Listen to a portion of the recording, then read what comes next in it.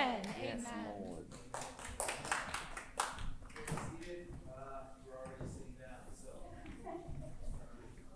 How's everybody doing this morning?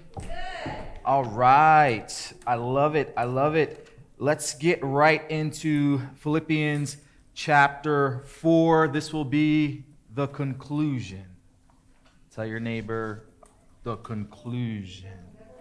You got to say it like that. The conclusion. We have been in Philippians since March. And then the uh, pandemic hit, and then we did a bunch of other stuff, and then we got back into Philippians. Um, I hope it's been helpful. If you have chapter 4, beginning at verse 1, I will read. So then, my dearly loved and longed for brothers and sisters, my joy and crown in this manner, stand firm in the Lord, dear friends. I urge Euodia and I urge Syntyche to agree in the Lord. Yes, I also ask you, true partner, to help these women who have contended for the gospel at my side, along with Clement and the rest of my co workers, whose names are in the book of life. Rejoice in the Lord always. I will say it again rejoice. Let your graciousness be known to everyone. The Lord is near. Don't worry about anything, but in everything through prayer and petition with thanksgiving, present your requests to God. And the peace of God, which surpasses all understanding, will guard your hearts and minds in Christ Jesus. Finally, brothers and sisters, whatever is true, whatever is honorable, whatever is just, whatever is pure, whatever is lovely, whatever is commendable, if there is any more excellence, and if there is anything praiseworthy, dwell on these things. Do what you have learned and received and heard from me and seen in me, and the God of peace will be with you. Father, thank you so much for this wonderful day that you have blessed us with. Now, Lord, as we engage with your word, can you speak to us? Lord, can we lay down any defensive mechanism that would cause us not to listen to your spirit? Father, I do not wish to be hidden, but I pray that you will penetrate and break my heart, that I may hear from you, that I may see things that I, that I keep uh, erecting and, and using um, to push across my agenda, especially when it comes to others. Father, I want to be vulnerable to you. I don't want to go with my thoughts.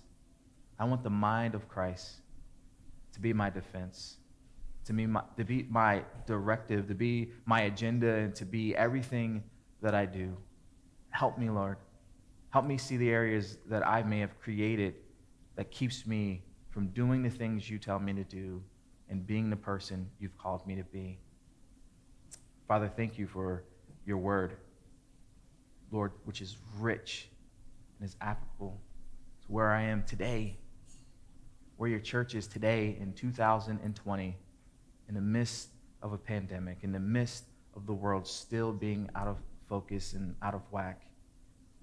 Lord, can you help us that we may be used for your glory, that our speech may be flavored with your love, that our actions will be uh, honest and filled with grace? And that our eyes will see people through the lens of mercy. That we will not be arrogant because we think we know everything, but we will be, will please help us be surrendered to your spirit. In Jesus' name, amen. Amen. Amen. amen. Almost 19 years ago, I remember the day I used to work for the electric company and uh, I read meters. And so I would walk around all day reading people's electric and gas meters. It was a I got paid okay, but it was really a challenging job because we had to work in the rain, we had to work uh, when it was cold, uh, we had to work in some, some real challenging communities. That's probably the nicest way I could say it. Or I've been chased by dogs, I've had the police called on me, I've had a lot of um, challenges with doing my job. And I remember one day in September getting up and dropping Kyrie off to childcare. Uh, Charlie was about two, three months old, and I went to Dunkin' Donuts and I got my coffee, and then I hit my ground to read the meters in the community where I was called to read the meters. And I was, as I was walking through, there was a guy painting a house, and on the radio, the news was on, and the news broadcaster said, "Hey, uh, there's an airplane. A guy must have gotten lost or something, and it crashed into a building in New York." And, and I was like, man, that's crazy. Like, how do you do that and hit a building? But okay, and so I continued walking and reading meters, and I remember walking through the projects, and I was reading the meters there, waving at people. And then it, back in the day, they used to put gas meters in people's basements, and so I would have to go into a lot of homes to in their basement to read the meter. And I got to this one home to read the meter, and there was a plumber there, there was a painter there, um, there was um, someone else who was doing something else. There was like five guys in the house doing different things. And so I show up to go in the house to read the meter, and they're talking a little bit about what was happening in New York. And so one of them turns the TV on to see that uh, one of the buildings was on fire and it was a crazy scene in New York City. I was like, whoa, this is insane. And about two minutes in, we were all sitting on the couch in, these, in that stranger's home watching TV. It was, the, it was insane. It's like none of us live here, none of us belong here, and we're all sitting around like we, we go way back, and none of us went way back. And as we were watching the news, I remember thinking about my family, thinking about the world how is this happening? And then there's news of another plane that went down, and then one hit the Pentagon, and everything in my worldview was really shooken. One, because I assumed, I don't know where I got this from, I just kind of grew up thinking that like America was like it was impossible to penetrate our defenses. Like, like there was just something in my mind, like there's no way you can attack the Pentagon in Washington, D.C., right? There's these missiles underground that will come up and will fire at anything coming against us. And that day I was like, what? Like some dude just took over an airplane and flew into a building and flew into the Pentagon, like the Pentagon, like, like the place where all the plans happen. Like, where all the government secrets and everything is taking place. Some dude just took an airplane from New York, flew it down to DC, and just flew right into that building. Yeah. And I just remember all of us sitting in the room having all like all these things flooding and rushing like like do i go get kyrie from school? Do i go home to be with my wife and our newborn? Like what exactly am i supposed to do? And sitting in this room it's me ed tom and frank and we're all sitting here having this conversation. Now, in New Jersey, there's this thing called unions. I don't know if they have a lot of them here, Mel, but in New Jersey, there's unions everywhere. And unions are like baby gangs. They don't really get along with anyone who's not inside of the union. But you have all these different union guys sitting in the room. None of us is talking about, you know, I'm union 4789 and we don't like union 8273. In that moment, we were all together going through the same thing. And in the weeks to come, like it, it's like Democrats and Republicans and liberals and, and conservatives and everyone was just holding hands, singing. Uh, church that Sunday, the attendance in churches around the country went crazy and through the roof because everyone was kind of rocked at the same time. And it was like this horrible moment brought so many people together.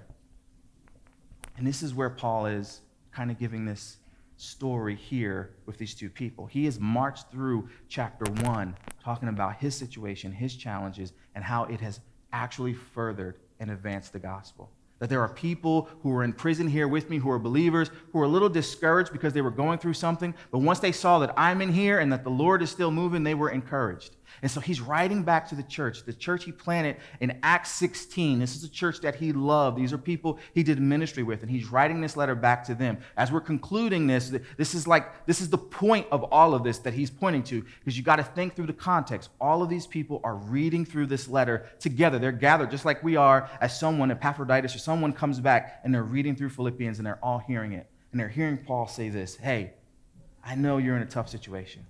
I know it's hard but God is still moving. In chapter 2, right? Chapter 2, he gives the example of this is the mindset you should have, church. Have the mindset that was in Christ Jesus, who is high, lifted up, but came low for the benefit of all. Be in unity, be of one mind. Remember to have joy. Like he's continuously, 16 times, remember to have joy because Christian people sometimes forget to have joy. And he's given this argument and he's, he's, he's like yelling through this letter Hey, remember to have joy. In the midst of a challenging situation, I'm in jail writing this to you. I got to tell you, free people to be filled with joy. I got to tell you, Christian people to be together in unity. Be in unity, be together. That's your brother, that's your sister. Then he gives the example of Timothy and Epaphroditus, right? Timothy was his son in the ministry that he developed. Um, he was discipled by his mother and his grandmother, and then he came under Paul, and Paul is training him for ministry so that he can go and be a preacher and help the churches. He can go out and advance the gospel, and he uses him and his sacrifice as an example. Then Epaphroditus is one of the members of their church, which is so awesome. He, he's a person that they did ministry with, that they knew, and he's saying, Look at this dude who almost died, and God kept him. He sacrificed for me, and he sacrificed for you, and I'm sitting sending him back to you with this letter. And then Paul gets to chapter 4.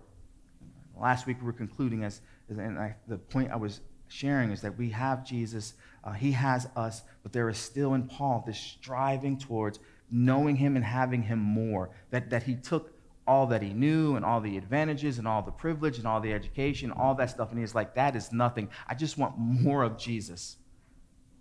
And then all of this all of this is pointing to chapter 4, where he exposes something to us that we didn't see earlier. He doesn't make mention of it, but he's talking about joy. He's talking about church people getting along. He's talking about, you know, keep it together, be excited, sacrifice for other people. Then he gets to 4. Can you imagine sitting there in the audience in Philippi and his awesome letters coming, and then you, you hear your name? Right? Epaphroditus snitched. He told Paul what was happening back in Philippi there was two ladies in the church that had beef. They weren't getting along. They loved Jesus. They were part of the leadership of the church. They were members there, but they had a problem with each other. And verse 4 gives up the goods. Look at them. I urge Euodia and I urge Syntyche to agree in the Lord. That's it. He doesn't say what they did. He doesn't say why they weren't getting along. He doesn't say who was right or who was wrong. And I'm pretty sure Epaphroditus probably had his view on it, right? He's like, man, Paul, I can't believe this one did this and this one did that. He, he, Paul doesn't say any of that stuff, but you can now start to realize, looking back at all the other chapters, that Paul was pointing to this moment. My first point this morning is this Paul could have said, hey, church people, get along, but he didn't he directly called their names out. Direct, he, he didn't beat around the bush. He's like, I hear that there's, he didn't go, I hear there's some women at the church that ain't getting along. He called out their names that is etched in the scriptures forever. He was direct. It's one thing that we've, we, we, we've lost a little bit of is the sense of being direct for the right reason. Right? Like sometimes we're direct because we want to be mean, and we want to expose people. But what Paul is doing here is he, he didn't do this to be ugly or to be nasty. He did this because it was right for the church. That we could allow drama and mess to continue and to go on. But Paul was like, no, no, no, no. That's, that's not how, like that phoniness, that fake Christianese stuff and all that other stuff, that is not acceptable in the household of God. I understand doing that if you work for Google and if you work for Amazon and you got to keep the culture and all these other things, but in the household of faith, we are truth people. Therefore, if you say something ugly on Facebook and you are a believer and you belong to this household of faith, that you should be called to the carpet because of that. And we shouldn't have to dance around it. That phoniness and that veneer that we put up is the thing that disgusts the world because Christians are just as phony and fake as other people. And Paul says, No, you two, stop. Can you imagine being there in the audience, knowing you had this beef, sitting there feeling justified, and all of a sudden the letter's being read? It's like, y'all gotta love people. You ever hear something that someone's saying, like, man, I wish they were here to hear this? It's like, dang it. I wish that idiot could hear this today because the preacher is preaching to them. And then your name comes up. Oh. But but but but but you don't know about them, but you yeah, yeah what about you? Why do you feel as though you're so exempt from this? Look at Paul. Hey guys, you too. Calls him by name directly. He's not beating around the bush. Part of the reason why he's not beating around the bush because the church is the organization, it is the team, it is the family that reveals God to the world. Like, like, like we're, we're, we're not some, the Girl Scouts. You know what I mean? We're, we're not them over there. Like, like we, we can't afford to get it wrong because we are, are the institution and the people where God get, where people get to see God. That is a heavy responsibility. That I can't afford to get stirred up in my feelings and my emotions because people can miss God. This is why we have to handle this carefully, because this is where people get to hear God. How can you hear God if you're worried about this person over here that doesn't like you? Like, you have enough of that in the world, right? You have to go to work with people who really don't like you, and they front and they have this veneer. You got to get called down to HR, and everyone says, Yes, we're going to get along, and all that other phony stuff. But in the household of faith, it's unacceptable. People get crushed, they get bruised, and the thing that always bothers me when there's tension in church is that for those who really don't know the God of the universe, they assume that's Him. And that they get mad at Him and walk away from the church because of people who should all surrender and be subject to His word. Don't spend your walk dancing around things when there's an issue. We need to practice it. Maybe you were raised in a family where we just didn't talk about problems and we just ignore things and we, we swept it under the rug. That's cool. I get it. I'm sorry to hear that. But that is not the way we do this, right? We do this differently. We don't look like the world. Not everything that we learned in our families was right. Paul here is saying, listen, in this new family, we deal with problems. Now, every problem doesn't mean it has to be broadcast and someone has to call it out on Sunday morning. Like you took my parking spot in the parking lot. Like you could have resolved that in the parking lot, right? If you surrendered to each other and you're like, hey, girl, I saw you were coming in. I don't know, something, I was just being stupid. Like you could deal with that. But then there are some problems that need to be brought to a higher level. Amen? It will eat you up. You will miss God. You will miss what He's saying to you. It will always be about them. That's part of the problem in our culture today. It's, it's always them. It's, it's them, them, them. It's, it's, it's always a them, and it's never, Lord, how, where, where am I in this mess? And part of it is we feel like they'll get away with it. And Paul's like, no, that's not, that's not what we do. And here's the second point. We need mediators. Look what Paul says. If you read real fast, you'll miss it. He says, Yes, I also ask you, true partner, to help these women. Like, like, like Paul is imploring. He doesn't say the person's name, but as the letter is being read, he goes, My true partner. Basically, there was someone there in the church that Paul was saying, Hey, can you, can you help solve this problem? Two things, which means one, he wasn't already or she wasn't already doing it. They saw the problem, they felt the problem. They knew what was going on. So Paul has to go, hey, hey, my friend, can, can you mediate this? Because this is getting out of control. It's impacting the church. It's affecting the people. Can you please get in before it continues on? And, they, and other people think this is the way Christianity should be. Ah. Oh. Paul isn't a stranger to beef in the body. If we go back, Acts, Paul goes out on the first missionary journey. He's with the homie Barnabas. Barnabas is the encourager. He's the guy. He co-signs for other people. He's a good dude. He co-signs and, and brings people in. Everyone loves Barnabas. He's a rock star in the church. They go out on the missionary journey, and Barnabas' cousin, John Mark, bounced on him in the midst of whatever was going on.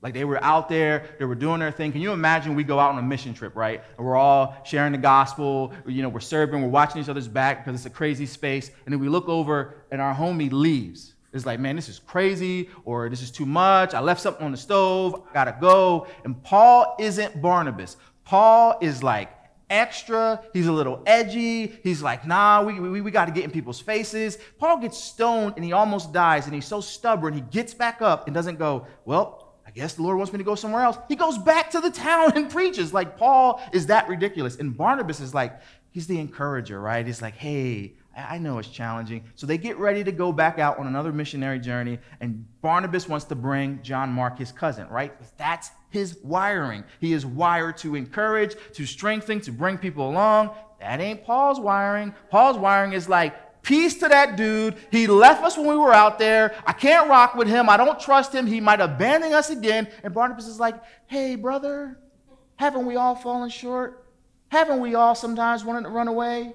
I don't know why I sound like Joel, uh, but but it does fit. That's that's probably how Barnabas' attitude was. Like, come on, give him a chance. Paul's like, I'm not giving him a chance. He betrayed Jesus. Like, can you hear that in Paul? But this is Paul now writing this letter later, realizing that he misstepped. And later on, we see where Paul sins for John Mark. They fix their relationship. But Paul has learned something between Acts 13 and Philippians 4 that it is better to reconcile, to address problems, to build and encourage a brother. And, and here, this is.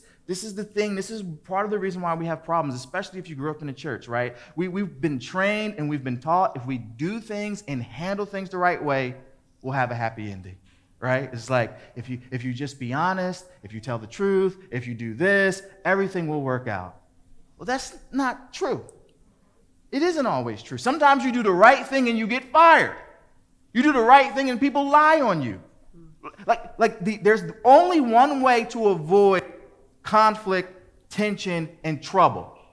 And that is to never have relationships with people and to stay, do like Thanos at the end of the, the movie where he becomes a hobbit on a planet by himself. That is the only way you avoid conflict, is to stay away from people. You will never do anything for the Lord where there will be no conflict. You, you, you will, if, if you're married in this room, like you could do everything right and still have problems. You're bringing two completely different people together. The church is a bunch of weird people with views and ideas and thoughts. Some of the, sometimes we mix it up with scripture and our emotions and pizza and what we learned from this pastor over here or this thing over here, and we bring it together and go, I can't believe these idiots. And God says, Yeah, this is my family. These are my peoples, right? You think this way, but but but if we continue to surrender to Jesus. But but here's here's the catch. They have the word, right? Paul's given them three chapters of directions of what to do. And he says, Yeah, you still need a mediator, a person. Because sometimes you will read this and assume with your worldview and your thoughts and your emotions, and that just can't be right, and get it wrong. You, you, you, clearly sit down and look at the Greek and then go through the Hebrew and then study all these commentaries and still land in the wrong space. And Paul says, My brother, my sister, can, can you sit down with those two? Because they, they have the word, but they need some help. They, they need someone who is balanced, someone who, who can mediate and look at the situation properly and appropriately, who doesn't have all the emotional attachments that they have and be able to speak to both of them. Oh, man. Wow. Mel said last week that he's a consultant, right? You know the consultant, he, I mean, he made a joke out of his own job. Like, like a consultant just comes in and gets a bunch of money for telling people what to do. But one of the clear, beautiful parts of being a consultant is that someone from somewhere else who isn't attached to the problems, isn't attached to the people, that can come in from the outside and clearly see everything that's happening better than everyone on the inside. I mean, that's the gospel, right? Like, like Jesus, someone from somewhere else comes in and infiltrates where we are and says, You are all wrong. All of you. All, all you over there, wrong. You? Nah. And this is what Paul's arguing in the last chapter. He's saying, I did everything and I said everything and I achieved everything I was supposed to achieve, and I ended up on the opposite side of the gospel. Like we should all have that level of humility that we could still be wrong. And so Paul says, Hey, could you mediate this problem could you sit down with them? I know they're, they're building up teams on both sides and, and, and, and they're tweeting out things because they really want to hit this person and they want them to read it. And then they're fighting this battle with someone they don't see. Can, can, you, can you come in between here and show them how that is destructive and it isn't building up anyone? 1 Timothy 2 5 through 6. For there is one God, one mediator, also between God and men, the man Christ Jesus who gave himself as a ransom for all. The testimony given at the proper time. We, we need to implore outside people. And, and here's the other part, right? We need to trust them, put, put our weapons down, and give them the freedom and the liberty to tell us we're wrong.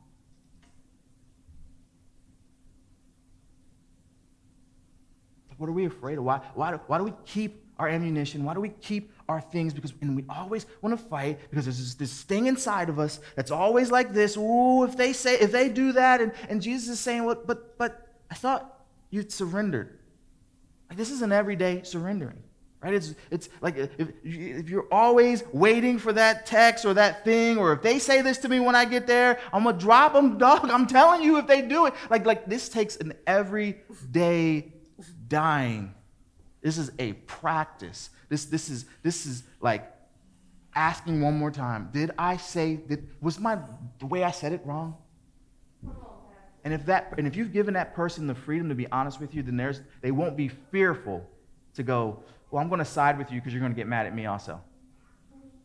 Because sometimes you could be angry and, and you can be a little bit edgy and off. But, if, but if you have a mature mediator in your life, they're like, Look, I, I'm, I'm, I don't, I don't want to bruise you, but I love you too much to protect myself. We have real reasons, real reasons. Like there's real conflict. We have real reasons to have problems and to argue. Like, like I am not belittling the issues that we have in the world today, that they are real issues for conflict. But this isn't written to the rest of the world. This is written to people who say, Jesus is Lord, Jesus is King. I am following him, I'm following his direction. I am not trying to score points with these people or to look good here. I am completely surrendered to Jesus. And that is hard. And that's why the last point I have is to come to agreement in the Lord. Look what Paul says to them. I urge Euodia and Syntyche to agree in the Lord. Like one of them could have truly been at fault. Paul's not going there for the issue. He's actually appealing to a higher thing. That if I'm saying that Jesus is the Lord of my life and you're saying Jesus is the Lord of your life, then there cannot, how is it possible that we can at least come to a place where we love and respect each other? And Paul is saying to agree in the Lord. I don't agree with your corny football team, and I don't agree with your view on this. I don't agree with this over here, but I will say this that we are brothers and sisters because we tr- there is a Lord over our lives that we are submitted to. And Paul is saying, I know you love Jesus because we served together. We did ministry together. We shared the gospel together. When Paul went in Acts 16, he found a group of women who were women who feared God. And this is the group of people who he planted the church with. These women were on fire for the Lord. He preached the gospel. The church starts. These two women were probably a part of that original team. They were doing ministry, they were witnessing to people. Paul is saying, Listen, I know you love. I, I know he's like your, your focus isn't on him right now. I need you to, to get back to focusing on him so you can let that stuff go. Let it go. Let it go.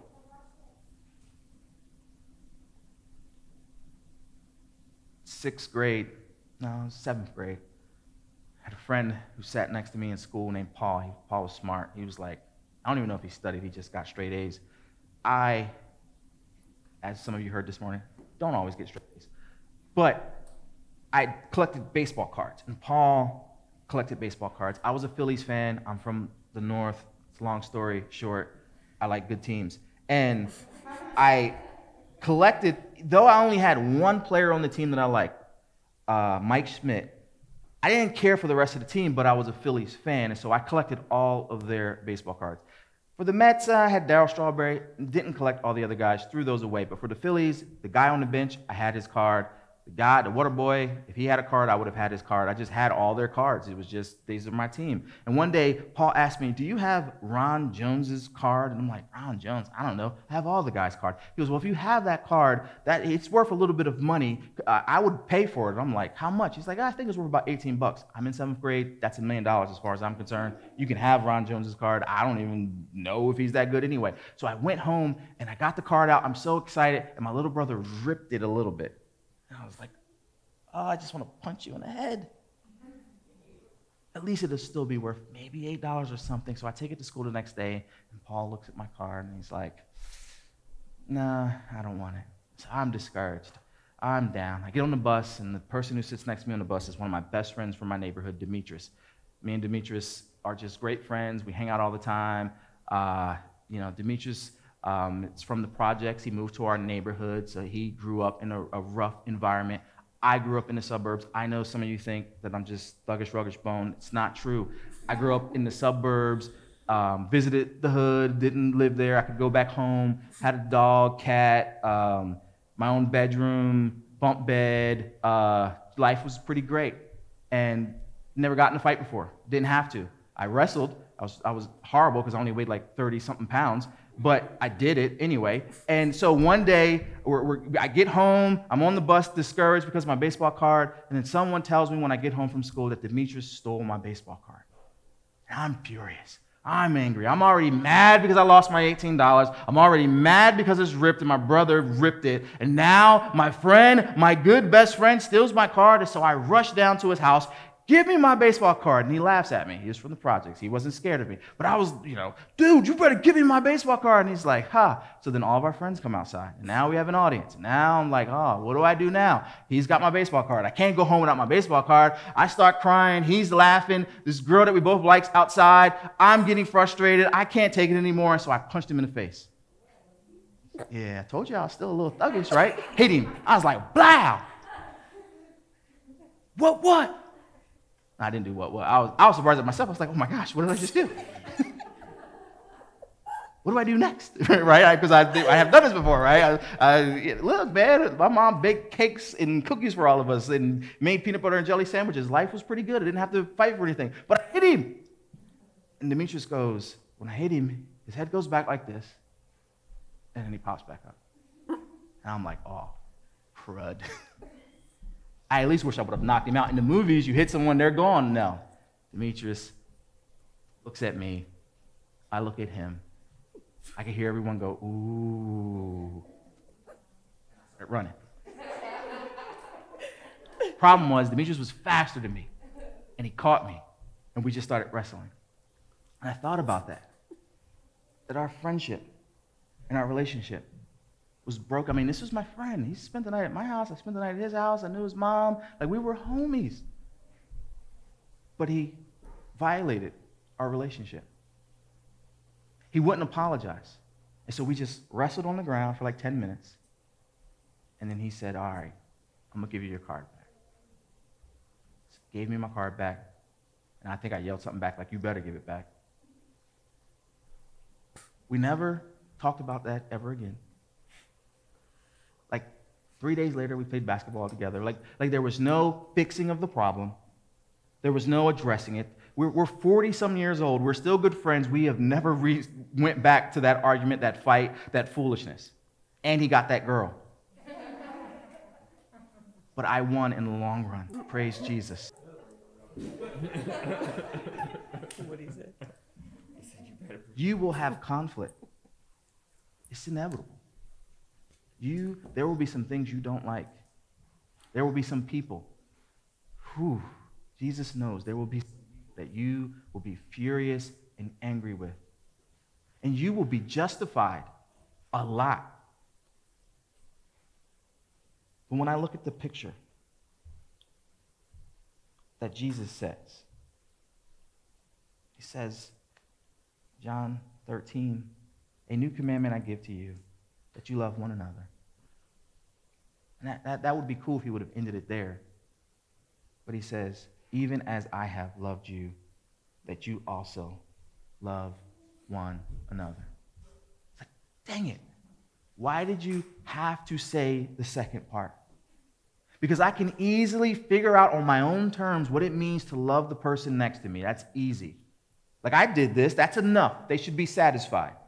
And Jesus goes, Yeah, in comparison to what you think is right. If you're the Lord of your life, then that's enough. But if I'm going to be the Lord over your life, then I'm the example. Oh, man.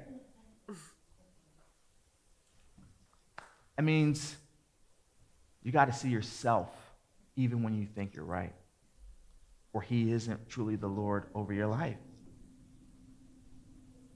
First Kings, Solomon is now in charge, and there's a story of these two women. Actually, I'm, I'm going to read it real fast because sometimes I assume that everyone is kind of familiar with every Bible story.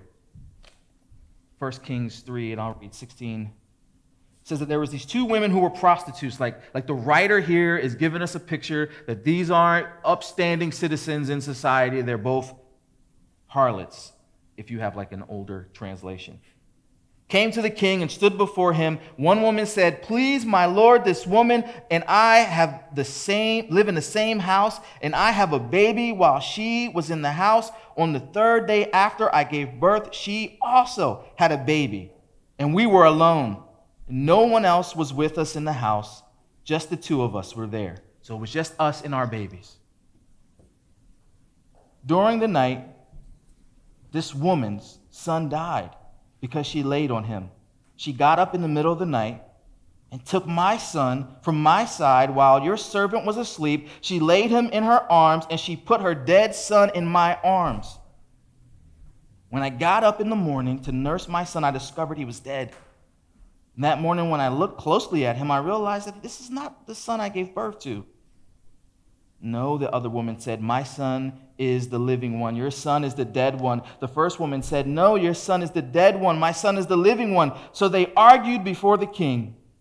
And the king replied, This woman says, This is my son who is alive, and your son is dead. But the woman says, No, your son is dead, and my son is alive. And the king continued, Bring me a sword. So they brought the sword to the king, and the king said, Cut the living boy in two, and give him to the one and half to the other. And the woman whose son was alive spoke to the king because she felt great compassion for her son. My lord, give her the living baby. And she said, But please don't have him killed. Like in this picture is an amazing display of the wisdom of Solomon, right? Like he, this dude is crafty and clever. He's like, all right, I, got a way to pull out the right one. I got a way to figure out whose baby this is. Let's just cut the baby in half, and, and that will draw out the one. And so the one lady says, kill, go ahead, cut him in half. And the other one says, no, give him to her. And it's, look at the, the, the intensity of the sacrifice of the mom whose baby that was. She was like, you know what? I don't like her I don't like her, but I love this baby. And so I'm, for, for his safety and for his sake, I am willing to let go and sacrifice and allow myself to be hurt and injured and to be tormented and to live with this pain because I prefer this. That is a picture of loving someone else. it, it is the willingness to go, I don't have to win here. I will give up and I will give in and I will let go so that you may live and you may win and, and you may prosper. And this is the picture of loving your enemies and loving this other person and loving them and preferring other people. It is a willingness to absorb things. And, and for some reason, our culture is conditioning us to, to not absorb anything. If there's anything I'm learning there is some tension that I have to grow up and learn to live with.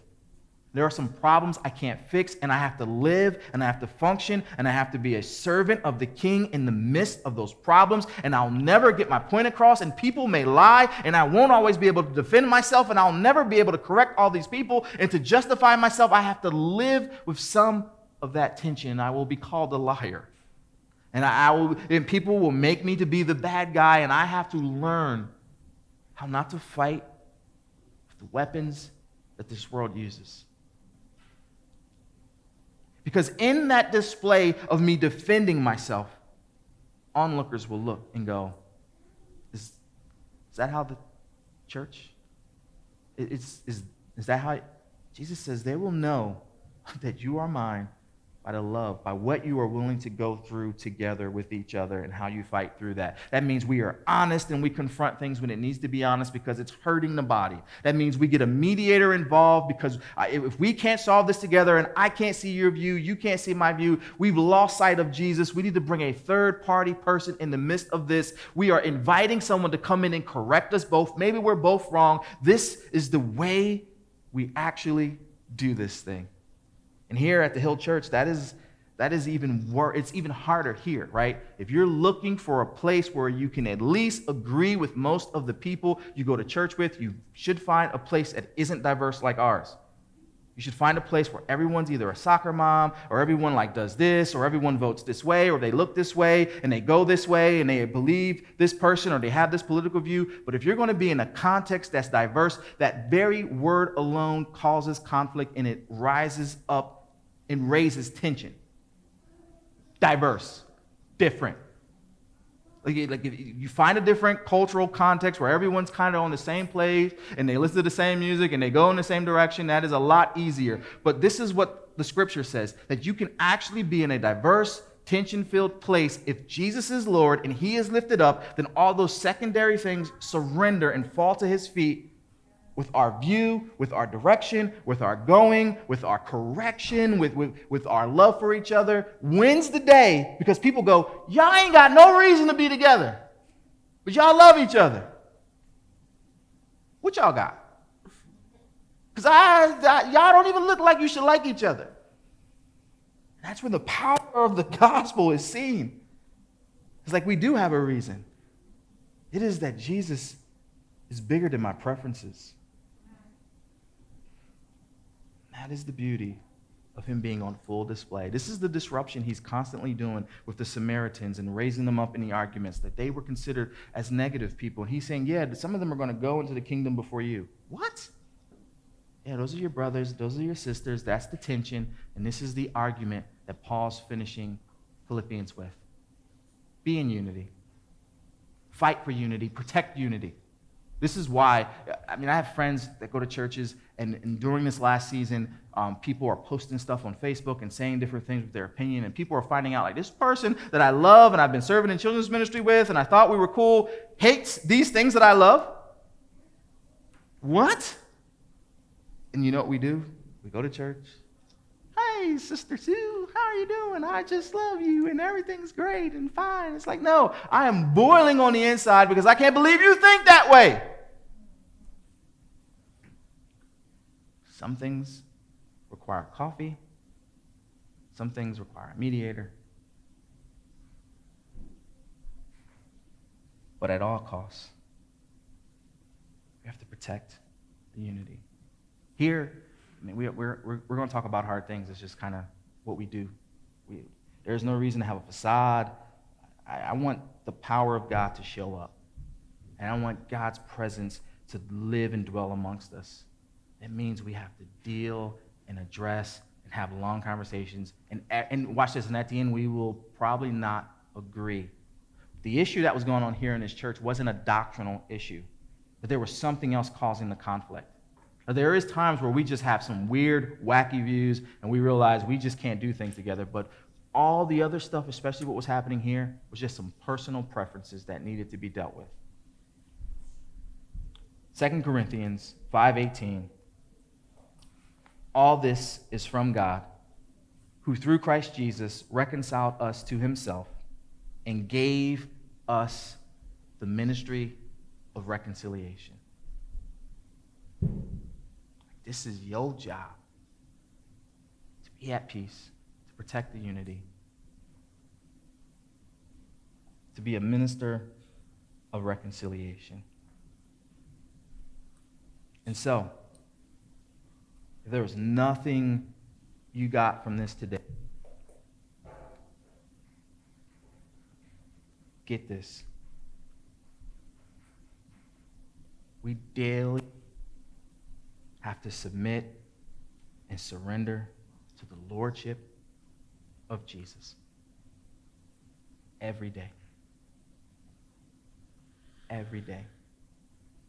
And Paul is talking to all of us.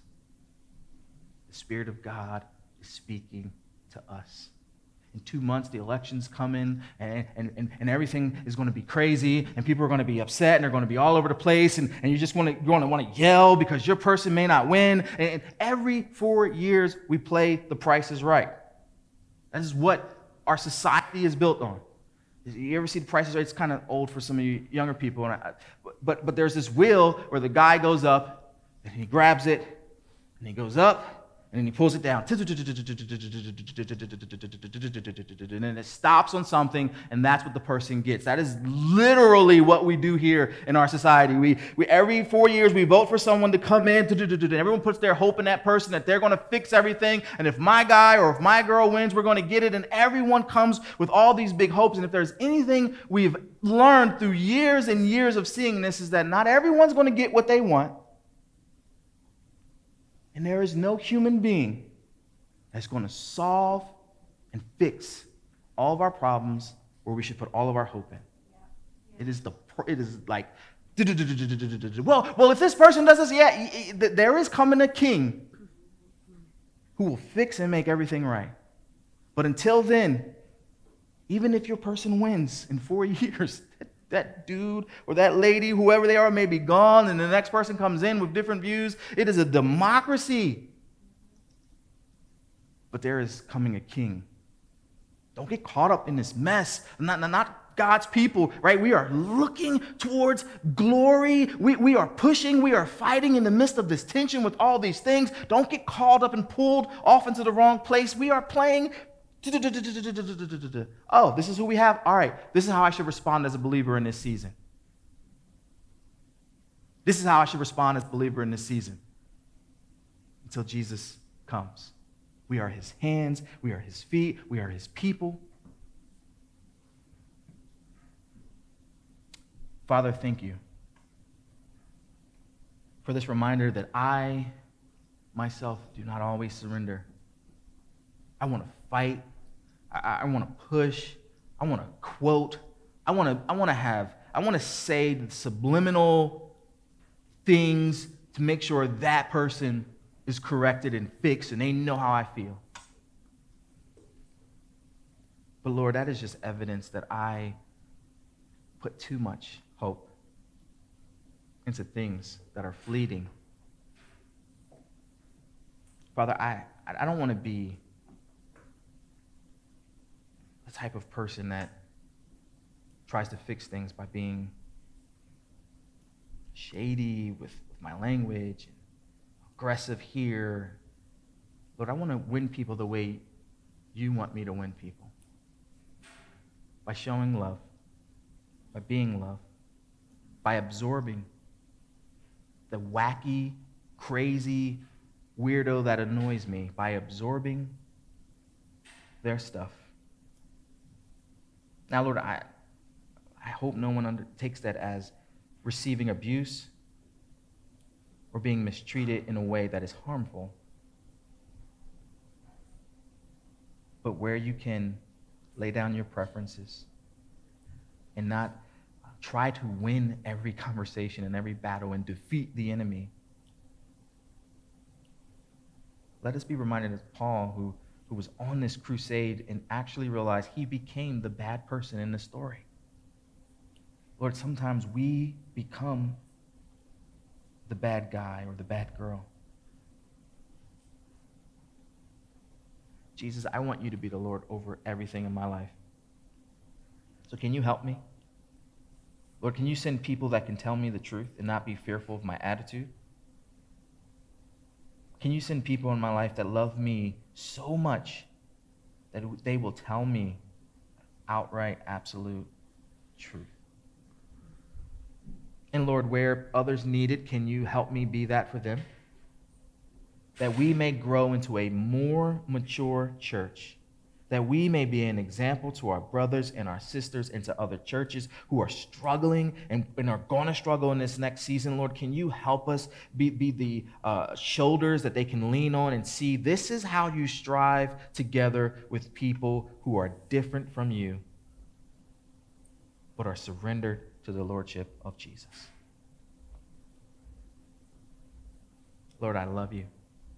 If there's anyone in here today, Lord, that your word is penetrating their heart, can you strengthen them and remind them that you love them and you are with them? And for anyone, Lord, that may have come in here not knowing you as their Lord and Savior, Father, I hope your Spirit is ministering to them and is building them and is drawing them to your Son, Jesus. Thank you, Lord. In Jesus' name, amen.